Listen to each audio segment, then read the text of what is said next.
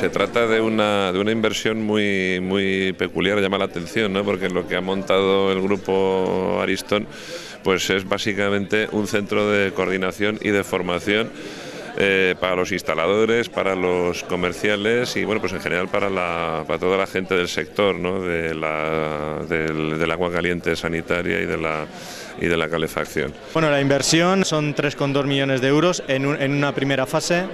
Estamos hablando de que estamos consolidando un grupo de trabajo que no va a estar por debajo de 40 personas. La verdad es que estamos muy satisfechos de que hayan elegido Leganés y que hayan confiado en nosotros.